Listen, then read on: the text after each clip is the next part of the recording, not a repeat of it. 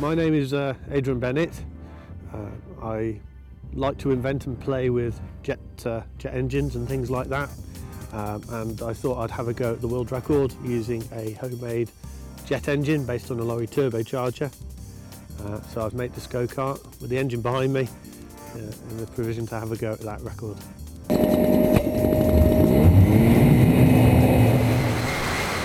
The current world speed record at the moment is 71.34.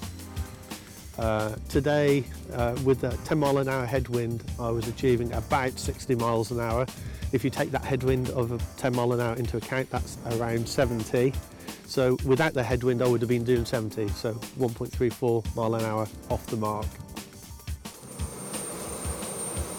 It took me about three months to make the gas turbine engine behind me originally, and it was just in a frame, wasn't in a go-kart.